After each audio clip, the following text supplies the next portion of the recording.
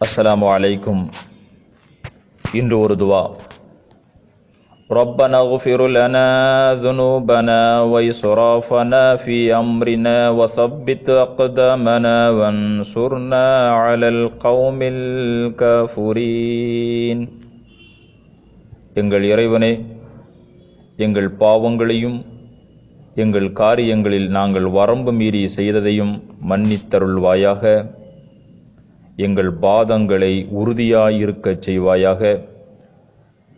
எதிரிகளின் கூட்டத்தாருக்கு எதிராக எங்களுக்கு நீ உதவி புரிவாயாக.